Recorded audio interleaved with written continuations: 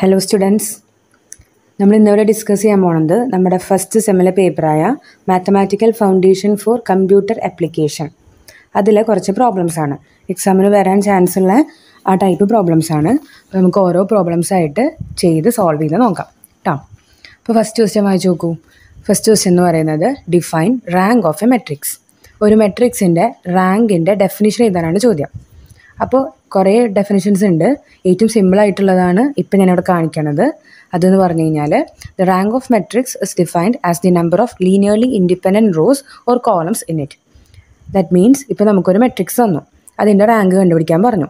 അങ്ങനെ പറഞ്ഞു കഴിഞ്ഞാൽ നമ്മൾ ചെയ്യേണ്ടത് എന്താണെന്ന് വെച്ച് കഴിഞ്ഞാൽ ആ മെട്രിക്സിൽ എത്ര ലീനിയർലി ഇൻഡിപെൻഡന്റ് ആയിട്ടുള്ള റോസ് അല്ലെങ്കിൽ എത്ര ലീനിയർലി ഇൻഡിപെൻഡന്റ് ആയിട്ടുള്ള കോളംസ് ഉണ്ട് എന്നുള്ളത് എണ്ണി നോക്കുക.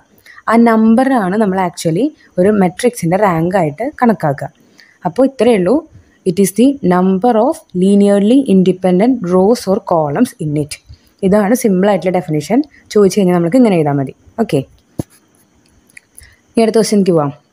വായിച്ചു നോക്കിയ ക്വസ്റ്റ്യൻ നെക്സ്റ്റ് ക്വസ്റ്റ്യൻ എന്ന് പറയുന്നത് find transpose of a matrix matrix minus two six nine one three five four three seven ഇപ്പോൾ ഒരു മെട്രിക്സ് തന്നിട്ടുണ്ട്. അതൊരു ത്രീ ബൈ ത്രീ മെട്രിക്സ് ആണ്. അതിന്റെ ട്രാൻസ്പോസ് കണ്ടുപിടിക്കാനാണ് ചോദ്യം. അപ്പോൾ അത് എത്ര എത്ര ഓർഡറുള്ള മെട്രിക്സ് ആയാലും കുഴപ്പമില്ല. എന്താ പറയുക ട്രാൻസ്പോസ് കണ്ടുപിടിക്കാൻ പറഞ്ഞു കഴിഞ്ഞാൽ നമ്മൾ എന്ത് ചെയ്യുന്നത് വെച്ചാൽ തന്നിരിക്കുന്ന മെട്രിക്സിന്റെ റോസ് എടുക്കുക റോസിനെ കോളംസ് ആക്കി എഴുതുക. അതല്ലാന്നുണ്ടെങ്കിൽ കോളംസ് എടുത്തിട്ട് അതിനെ റോസ് ആക്കി എഴുതുക. അപ്പോൾ ആക്ച്വലി റോസ് എന്ന് പറഞ്ഞു കഴിഞ്ഞാൽ ഹൊറിസോണ്ടലായിട്ട് വരുന്നത് കോളംസ് എന്ന് പറഞ്ഞു കഴിഞ്ഞാൽ വെർട്ടിക്കലായിട്ട് വരുന്നത്. അപ്പം ഞാൻ ഇവിടെ എന്താ ചെയ്തത് വെച്ചാൽ റോ എടുത്തിട്ട് കോളമാക്കി എഴുതി. നിങ്ങൾക്ക് തിരിച്ചു തിരിച്ചു ചിന്തിക്കാം കേട്ടോ മീൻസ് കോളം എടുത്തിട്ട് റോ ആക്കി എഴുതുക. അങ്ങനെ വേണമെങ്കിലും നോക്കാം. എങ്ങനെയാലും കുഴപ്പമില്ല. അപ്പോൾ നമ്മൾ നോക്കി നോക്കി ആദ്യത്തെ ഫസ്റ്റ് റോ എന്ന് പറയുന്നത് മൈനസ് ടു സിക്സ് നയൻ ആണ്. അപ്പോൾ ഞാൻ എന്ത് ചെയ്തു? ഫസ്റ്റ് റോനെ ഫസ്റ്റ് കോളാക്കി എഴുതി. അപ്പോൾ എനിക്ക് എന്ത് കിട്ടി? മൈനസ് ടു സിക്സ് നയൻ മറ്റേ ക്വസ്റ്റ്യനിൽ നേരെയായി എഴുതിയിരുന്നത് ആൻസർ വന്നപ്പോൾ അത് താഴോട്ട് ഇറങ്ങി. അപ്പോൾ റോ എന്ന് പറയുന്നത് കോളാക്കി മാറി. ഇനി സെക്കൻഡ് റോ എന്ന് പറയുന്നത് വൺ ത്രീ ഫൈവ് ആണ്. വൺ ത്രീ ഫൈവിനെ കോളാക്കി എഴുതുമ്പോൾ താഴോട്ട് സെക്കൻഡ് കോളത്തിലെ വൺ ത്രീ ഫൈവ് എന്ന് വരും. സെയിം വേ തേർഡ് റോ എന്ന് പറഞ്ഞാൽ ഫോർ ത്രീ സെവൻ ആയിരുന്നു. അത് റോ ആണ്. അതിവിടെ തേർഡ് കോൾ ആക്കി എഴുതുക അപ്പോൾ താഴോട്ട് ഫോർ ത്രീ സെവൻ കിട്ടും. അപ്പോൾ നമ്മുടെ റിസൾട്ടിങ് മെട്രിക്സ് എന്ന് പറയുന്നത് minus two one four six three three nine five seven ഇപ്പം നിങ്ങൾ കോൾ എടുത്ത് ഡ്രോ ആക്കി എഴുതി നോക്കി നോക്കിയേ ഇതേ പ്രോബ്ലം നിങ്ങൾക്ക് ഇതേ ആൻസർ തന്നെ കിട്ടും. അപ്പോൾ അങ്ങോട്ട് ചെയ്താലും ഇങ്ങനെ ചെയ്താലും ഒരു പ്രശ്നമില്ല കേട്ടോ രണ്ടും കറക്റ്റ് തന്നെയാണ്.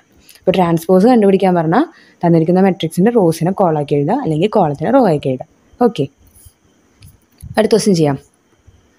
അടുത്ത ക്വസ്റ്റ്യൻ എന്ന് പറയുന്നത് find limit x tending to three x square minus nine divided by x minus three അപ്പോൾ ഒരു ഫംഗ്ഷൻ തന്നിട്ടുണ്ട്. അതിൽ വെൻ എക്സ്റ്റെൻഡിങ് ടു ത്രീ നമ്മൾ ആ ഫംഗ്ഷന്റെ ലിമിറ്റ് കണ്ടുപിടിക്കണം. അപ്പോൾ നമ്മൾ എന്ത് ചെയ്യും? സാധാ ചെയ്യണ പോലെ ത്രീ എടുത്തിട്ട് ആ എക്സിന്റെ സ്ഥാനത്ത് സബ്സ്റ്റിറ്റ്യൂട്ട് ചെയ്തു എന്ന് വിചാരിക്കേ. അങ്ങനെ ചെയ്തു കഴിഞ്ഞാൽ ആക്ച്വലി നമുക്കവിടെ three square minus nine divided by three minus three അങ്ങനെ കിട്ടും. അതെന്താ? Which is equal to nine minus nine by three minus three which is equal to zero by zero കിട്ടും. അത് ഉത്തരം സീറോ ആണെന്ന് പറഞ്ഞ് എഴുതിയേക്കരുത്. തെറ്റാണ്. സീറോ ബൈ സീറോ ഫോർമാറ്റ് വരും. അപ്പോൾ നമുക്കത് ചെയ്യാൻ പറ്റില്ല. അപ്പോൾ നമ്മൾ എന്ത് ചെയ്യും? ചെറിയൊരു സൂത്രപ്പണി ഒപ്പിക്കും. എന്താണെന്ന് വെച്ച് കഴിഞ്ഞാൽ ആ ന്യൂമറേറ്റർ ഒന്ന് നോക്കി നോക്കിയാൽ തന്നിരിക്കുന്ന ഫംഗ്ഷന്റെ അയാൾ actually x square minus nine എന്നാണ് അല്ലേ? അപ്പോൾ നമുക്കതിനെ എങ്ങനെ എഴുതാം? എക്സ് സ്ക്വയർ മൈനസ് നയനെ ഞാൻ ത്രീ സ്ക്വയർ എന്ന് എഴുതി. അപ്പോൾ x square minus three square ഇനി ഇവൻ ആരുടെ ഫോർമാറ്റിലാണ് a square minus b square ആണ്. അപ്പോൾ അതിന്റെ ഫോർമുല അറിയാലോ? A square minus b square എന്ന് പറഞ്ഞാൽ a minus b into a plus b അപ്പോൾ അത് ഇവിടെ എഴുതുമ്പോൾ x minus three into x plus three അപ്പോൾ നമ്മൾ നമ്മുടെ ന്യൂമറേറ്ററിനെ ചെറിയൊരു രീതിയിൽ മാറ്റം വരുത്തി. ഇനി എന്ത് ചെയ്യുക ഇപ്പോൾ കിട്ടിയ മാറ്റം നമുക്ക് നമ്മുടെ ക്വസ്റ്റ്യനിൽ ഇട്ട് കൊടുക്കാം. അപ്പോൾ നമ്മുടെ question actually limit x tending to three x square minus nine divide by x minus three എന്നായിരുന്നു. അവിടെ ന്യൂമറേറ്റർ മാറ്റി എഴുതുമ്പോൾ limit x tending to three x minus three into x plus three divided by x minus three അങ്ങനെ വരും. അപ്പോൾ നോക്കിയേ മുകളിലും X minus three ഉണ്ട് താഴെ എക്സ് മൈനസ് ത്രീ ഉണ്ട്. വേഗം എടുത്ത് വെട്ടിക്കോ. രണ്ടുപേരും ക്യാൻസൽ ചെയ്യാം. അപ്പോൾ ക്യാൻസൽ ചെയ്യുമ്പോൾ ന്യൂമറേറ്ററിൽ നിന്നും എക്സ് മൈനസ് ത്രീ പോയി ഡിനോമിനേറ്ററിൽ നിന്നും എക്സ് മൈനസ് ത്രീ പോയി. അപ്പോൾ നമുക്ക് ബാക്കി നമ്മുടെ ആരേ ഉള്ളൂ? Limit x tending to three x plus three ഉള്ളൂ. ഇനി കൊണ്ടുപോയിട്ട് ത്രീ ഇട്ട് കൊടുത്ത് നോക്കി എക്സിന് അപ്പോൾ എന്ത് വരും? Limit x tending to three three plus three എന്ന് വരും വിച്ച് ഇസ് ആക്ച്വലി സിക്സ് അല്ല ആൻസർ ത്രീ പ്ലസ് ത്രീ എന്ന് പറഞ്ഞാൽ സിക്സ് അപ്പോൾ ലിമിറ്റ് ഓഫ് യുവർ കോൺസ്റ്റന്റ് എന്ന് പറഞ്ഞാൽ ആ കോൺസ്റ്റന്റ് തന്നെയാണ്. ഉത്തരം സീറോ അല്ല കേട്ടോ. കോൺസ്റ്റന്റ് തന്നെയാണ് ഉത്തരം വരിക.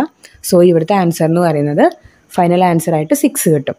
അപ്പോൾ ചിലപ്പം ചോദ്യം തരുമ്പോൾ നമുക്കത് സീറോ ബൈ സീറോ ഫോർമാറ്റിലായിരിക്കും വരിക.